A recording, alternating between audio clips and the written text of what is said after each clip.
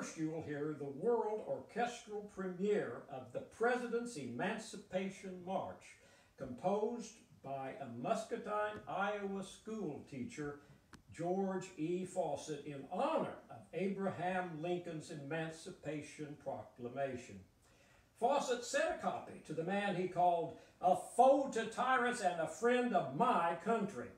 Lincoln acknowledged receiving the sheet music on January the 26th, 1863, the same month that the Emancipation Proclamation went into effect.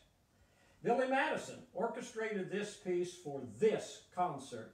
Its complex patterns and thoughtful development show that this unknown composer was no slouch in his composition skills.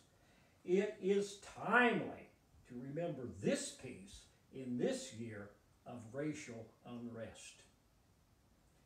The Japanese attack on the American naval base in Hawaii, Pearl Harbor, on December the 7th, 1941, united the company behind a war fought on two fronts. The war inspired Morton Gould to compose American Salute during a single night in 1943. Gould used When Johnny Comes Marching Home, a Civil War song composed by band leader Patrick Gilmore, who fitted new words to an older tune. It caught on immediately because the coming home resonated in both North and South.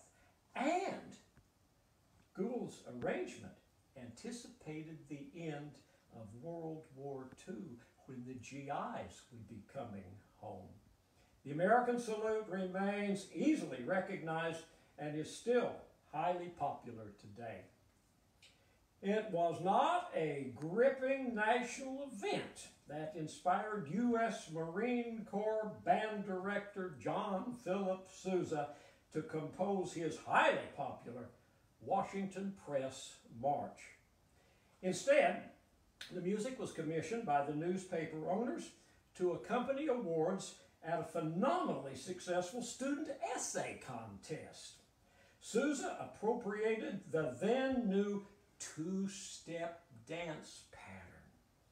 And a two-step dancing craze swept the nation, yielding in the 1920s to something even more daring, the foxtrot. The American March King was a prolific composer, turning out marches as well as operettas. And he invented a deep sounding brass instrument appropriately named the sousaphone.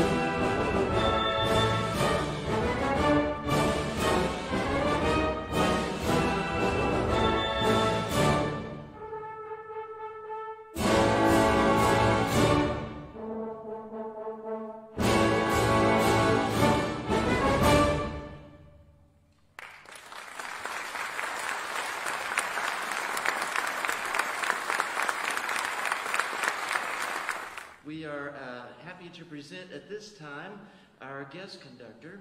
Every year at the Symphony Gala, our major fundraising event, we auction off the baton, although it's not no magic in the stick, but it's really the opportunity to conduct the Delta Symphony Orchestra on a number during the season sometime. So this year for the Washington Post March, we have our guest conductor, and it's uh, Taylor Moore. He should be right outside the door. We're going to welcome Taylor to the stage.